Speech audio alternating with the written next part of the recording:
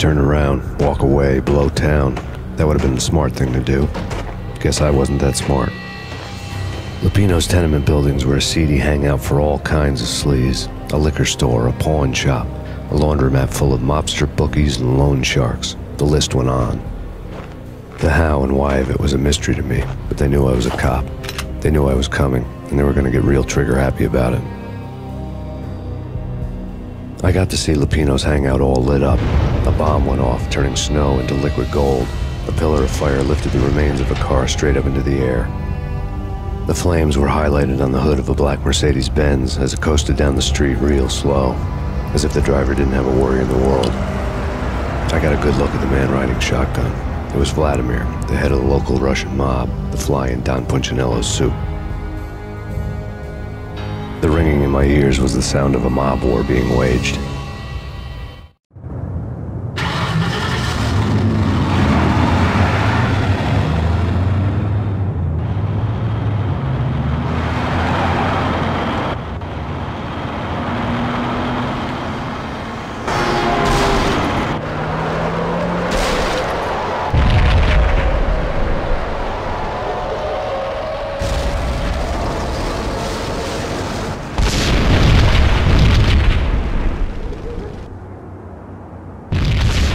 Another bomb exploded inside the closest slum building. It was a lucky break. The goons inside were spooked, but luck always came with a price tag. More bombs could still be ticking inside, and the cops would already be on their way. Jack Lupino's suite was on the top floor. At least it used to be, before the explosive makeover. I don't know, man. I, I don't know about this. Quit worrying, eh? Think of it as Christmas. The Russians are Santa. Yo!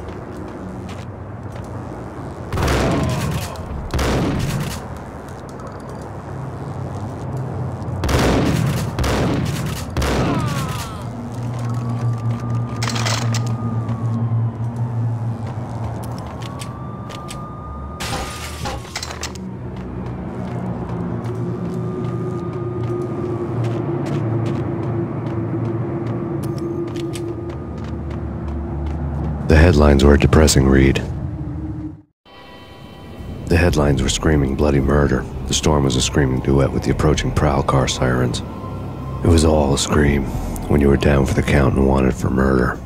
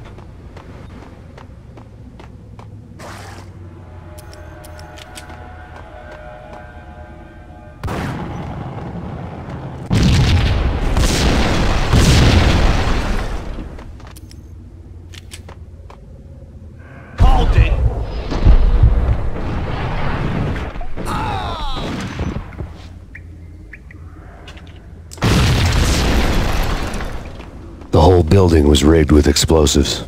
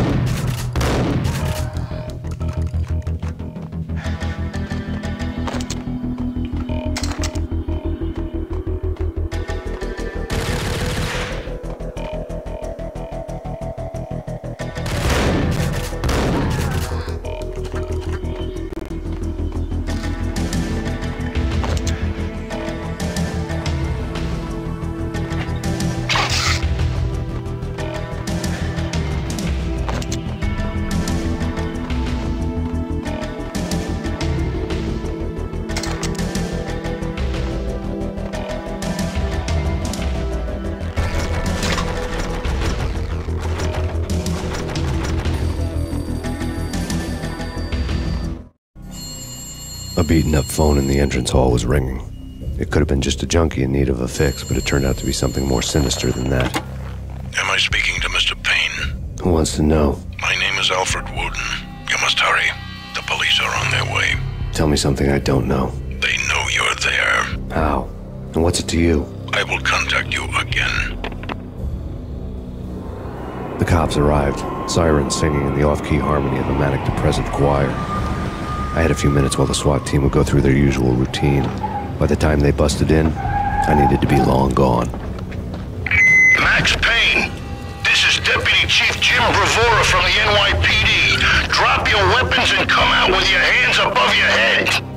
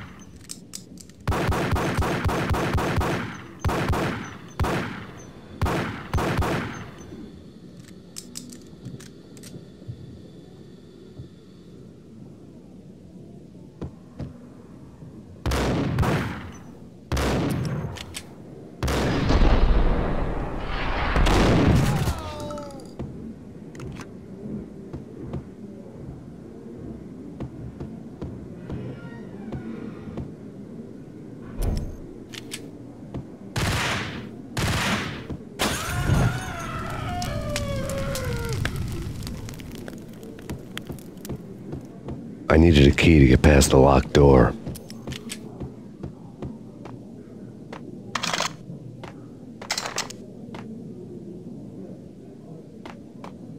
Someone had left a letter on the counter. There was a key on the shelf. Suddenly it all made sense. The bombs, the Russian mob boss making an appearance in person. Gognitti was his usual self, all talk and no walk. After our hit, the Russian has only a couple of guns left, and they can be bought. There's no freaking way he has the guts to try anything after that. As it turned out, the Russian had plenty of guts. One thing he could count on you push a man too far, and sooner or later he'd start pushing back.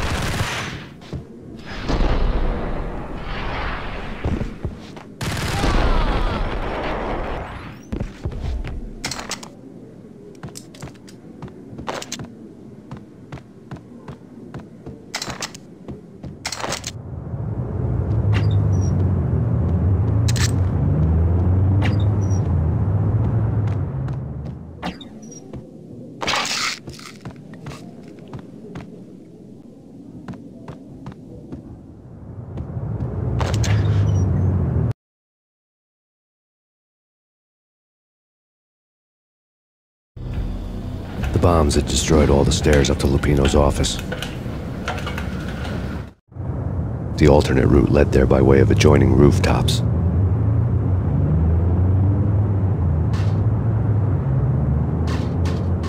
It's never been this cold. Never ever. It's like the sky's falling. Yes, sir. It's the end of the world as we know it. And I don't feel fine. I don't feel anything. Not a thing. I'm freezing my butt off.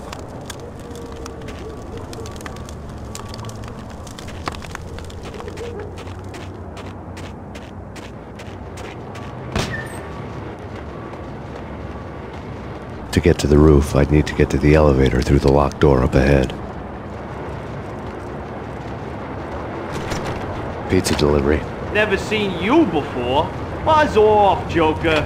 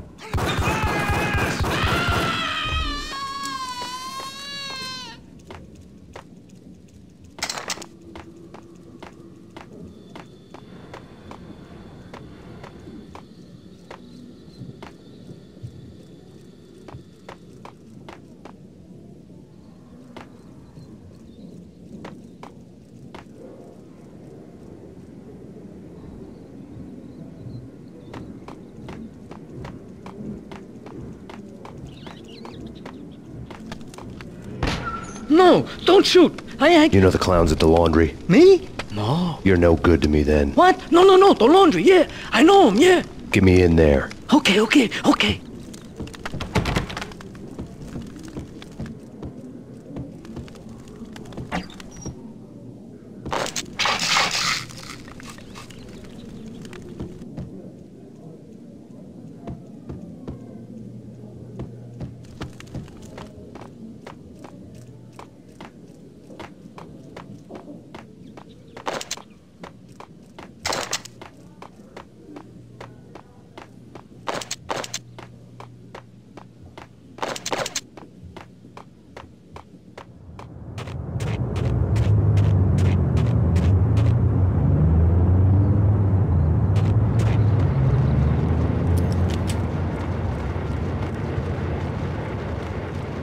It's me. Open up. Let me in, quick. Not so fast. The password. John who? Come on. Okay, John Woo. All right. Come right in. It's a trap! There he is!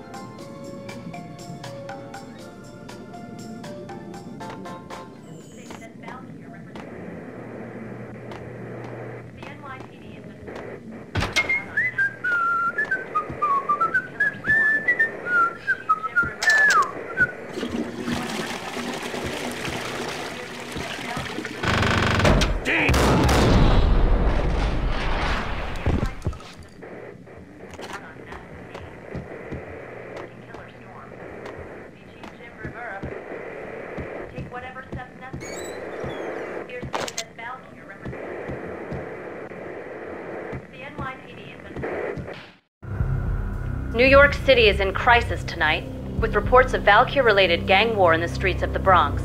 Apparently, Max Payne, wanted for questioning in connection with the slaying of a DEA special agent earlier tonight, is waging a one man war against his former partners in crime. Among the list of casualties so far are notorious mafia members Joey and Virgilio Finito, as well as Rico Muerte, himself a fugitive from the law, and a suspect for several murders in the Chicago area. The NYPD has been placed on full alert.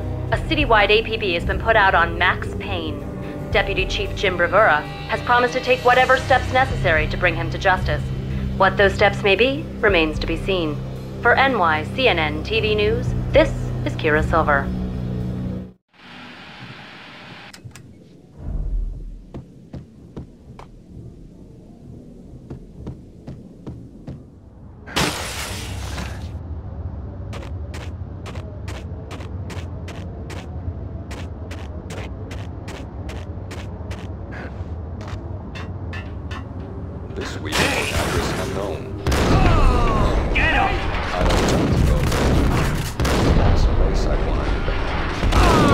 Where I always end up anyway.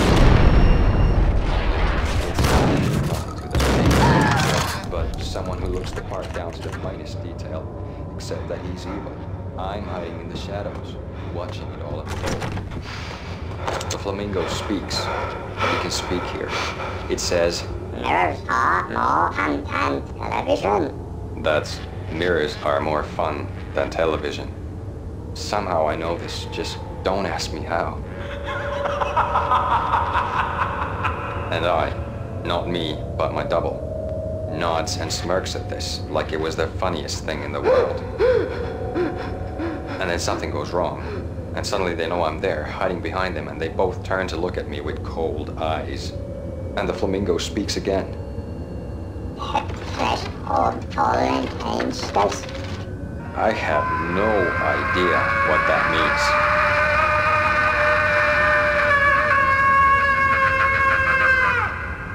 And that's when I always wake up to my own scream in that brightly lit white hospital room, strapped to my bed.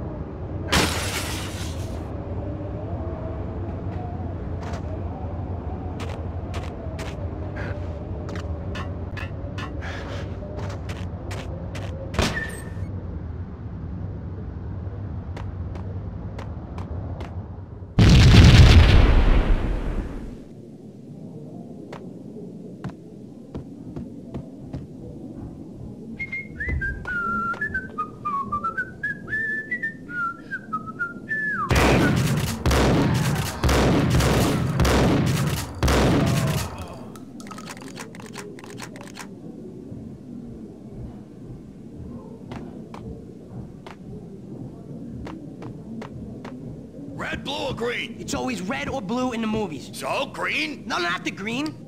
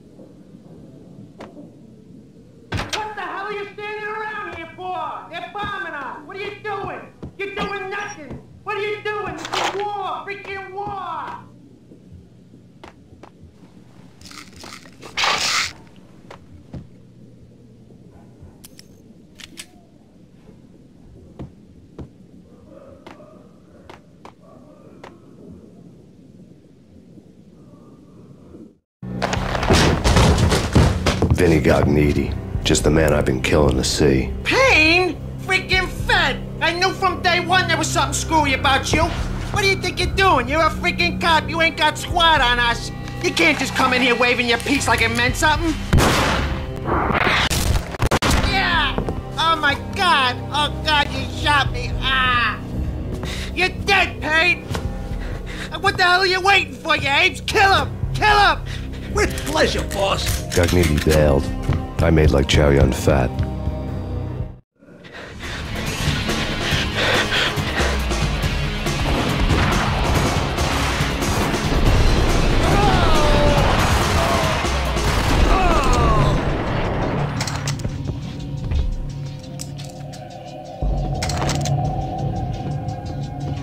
A crumpled letter lay on Gognitti's desk.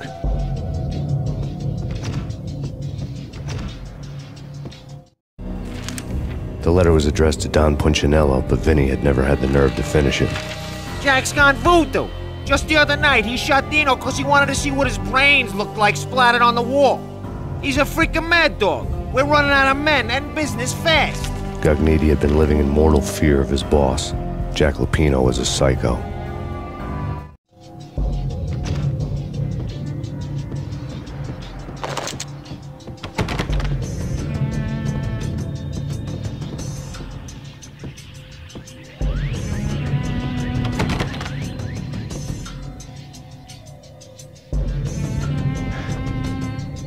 Vinny was running scared.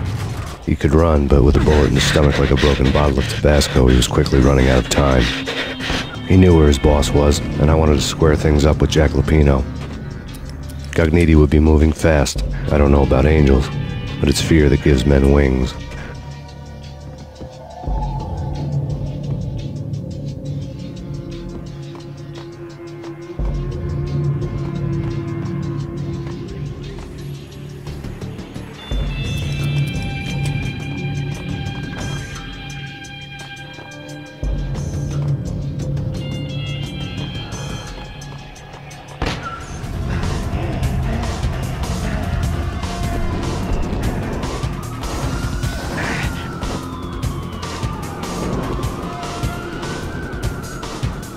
Gognitti hitched a ride. To catch him, I'd have to follow his lead.